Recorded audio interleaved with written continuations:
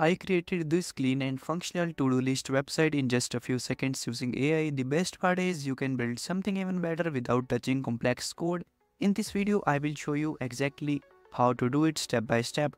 So stick around till the end, you are going to love this. So let's start. So the first thing you need is a good prompt. This is basically the set of instructions you give to the AI. The better your prompt, the better your results. Think of it like telling AI exactly what kind of website you want from layout to features, styling, animations and more.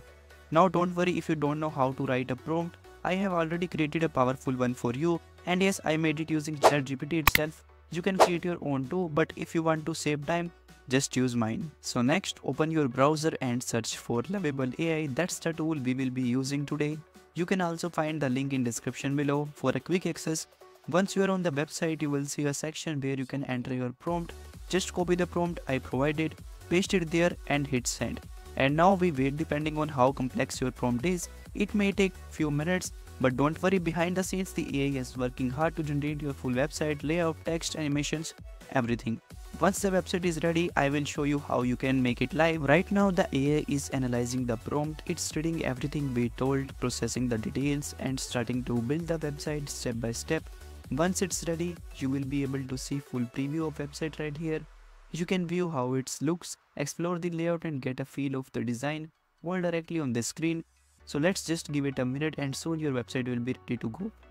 Moreover, you can even view the full code behind the website. So if you want to customize something manually, feel free to make changes. But if not, just let the AI handle everything for you.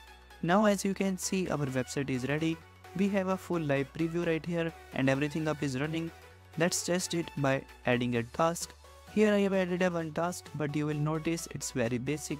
We cannot even set a deadline for it which is not idle so next we are going to ask the AI to add a timing feature something that let us set deadlines for reminders for each task let's do that for now. So now I wrote a very simple prompt asking the AI to do two things First is add a deadline feature for each task and automatically show task with the nearest deadline at the top.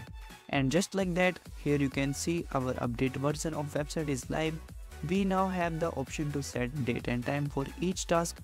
Let's take a look by adding one real quick and there you go you can see that is working perfectly just that way we want it. In the next part, I will show you how to publish this website live on the internet. Moreover, if you have any questions or run into any issues, feel free to drop a comment below and I will help you out. Don't forget to like, subscribe and share if you found this helpful.